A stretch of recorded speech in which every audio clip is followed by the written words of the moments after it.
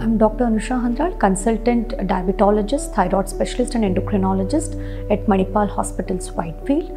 Today we'll be discussing about thyroid disorders. Now, what is a thyroid gland? It is a butterfly shaped gland which is located in front of our neck. It releases hormones called as thyroid hormones which are required for functioning of each and every cell of our body.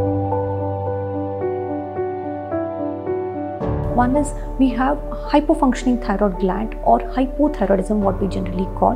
There's another entity called as hyperthyroidism, where there is excessive functioning of the thyroid gland, there is excessive release of hormones into the blood circulation. Both of them needs to be treated, and definitely there is a good treatment available for both of these conditions. If not treated, it can lead to a lot of uh, problems and can lead to poor quality of life. Now, hypothyroidism is the most common condition which we clinically encounter.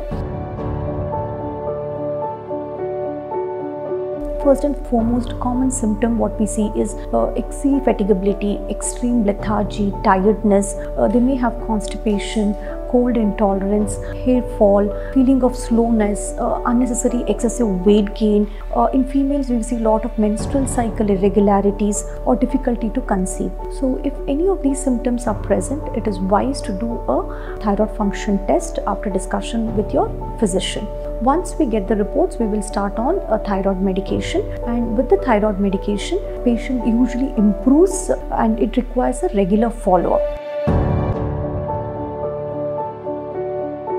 Hyperthyroidism is a condition where there is excess release of hormones into the blood circulation. Uh, we evaluate it and find out what is the reason.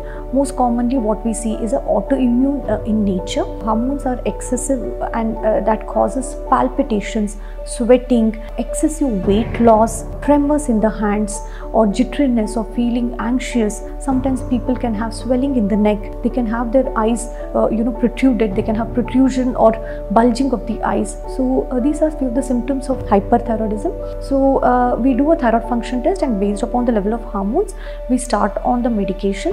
And these patients also require regular follow-up. Hypothyroidism, if adequately treated, and if you have reasonable normal thyroid function test on follow-up, you will not have any issues associated with hypothyroidism.